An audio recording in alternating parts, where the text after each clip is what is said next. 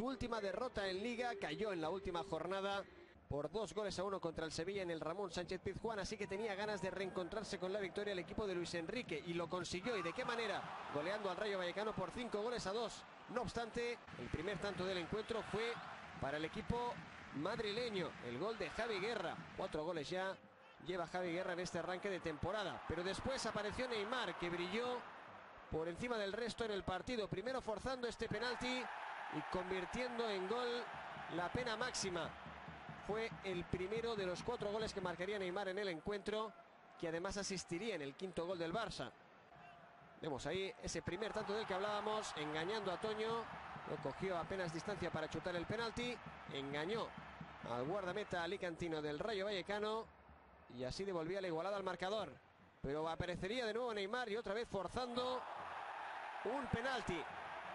En este caso lo cometió Nacho y merece la pena ver la repetición para apreciar la bicicleta y el caño de Neymar, como decíamos, para provocar ese segundo penalti y ese segundo gol desde los 11 metros.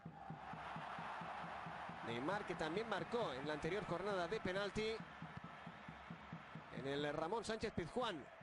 Un segundo gol para remontar el tanto inicial de Javi Guerra, pero en la segunda mitad siguió atacando Neymar, en este caso recogiendo el rechazo de ese disparo de Luis Suárez y convirtiendo en el minuto 69 su hat-trick.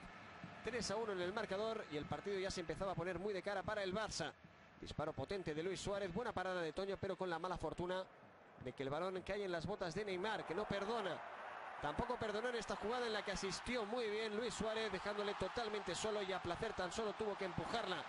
Neymar Junior completando su póker de goles. Es la primera vez que marca cuatro goles en un partido de Neymar con el Fútbol Club Barcelona. Antes ya lo había logrado con el Santos, pero no con el cuadro azulgrana. Aún así, siguió atacando el Barça y siguió teniendo como protagonista Neymar. En este caso asistiría con este bonito centro al segundo palo a Luis Suárez. El uruguayo lograba de esta manera marcar el quinto en el minuto 77. Vemos en la repetición el centro medido perfecto de Neymar. No remata Munir, el que sí lo hace es Luis Suárez. El Rayo Vallecano que hizo un gran partido a pesar de la dolorosa derrota, atacó muchísimo, tuvo muchas ocasiones de gol y le disputó la posesión al Barça, hizo un partido valiente como ya había advertido Paco Gémez en la previa del encuentro. Tuvo la recompensa al Rayo con este gol de Jozabed en el minuto 86.